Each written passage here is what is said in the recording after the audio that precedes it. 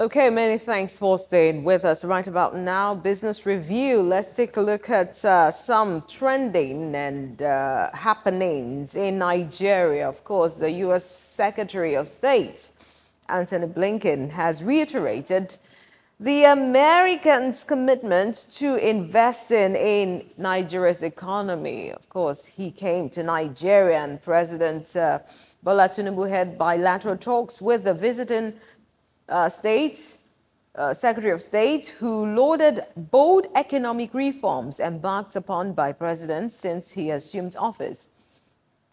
Addressing newsmen in company of Nigeria's Foreign Affairs Minister Yusuf Tuggar after the bilateral meeting with President Tinubu, the U.S. Secretary of State, while welcoming the president's bold reforms to unify the currency and end fuel subsidy, stressed the need to remove impediments to capital repatriation.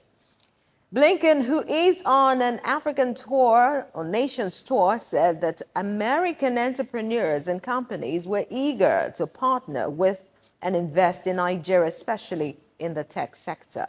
Take a listen to what he has to say.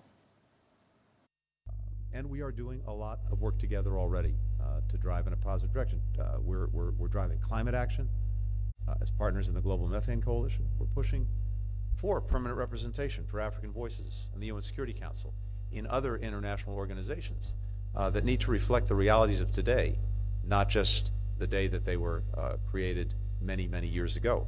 Um, we're working and collaborating to support the development and use of artificial intelligence for good. With 30 other Atlantic countries, we're driving blue economic development, environmental protection, science and technology exchange through a new partnership for Atlantic cooperation.